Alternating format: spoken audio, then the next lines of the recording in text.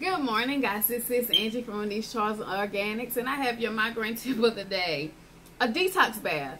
Um, and we we hear about the detox drinks that clean us out. You know, the apple cider vinegar, the lemon, um, and a little bit of honey that will detox our bodies to help us lose weight or whatever we're trying to accomplish. But a detox bath will detox your entire body.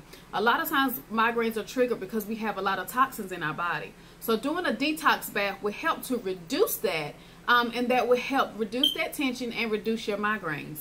Um, and what you would do is you would add baking soda and essential oil of your choice, preferably um, lavender and peppermint because these are geared towards reducing tension and apple cider vinegar.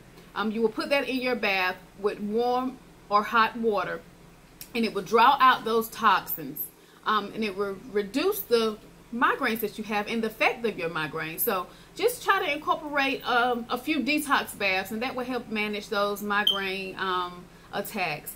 But I just wanted to share that today that a detox bath um, and not just for those of us that have migraines, just detoxing our entire, entire bodies altogether to reduce those toxins that we take in from food and different things like that. But just incorporating a detox bath every now and then is just a healthy way to just cleanse our body without taking a bunch of different detox medicines and things like that. But just taking a bath, baking soda, essential oil, and apple cider vinegar.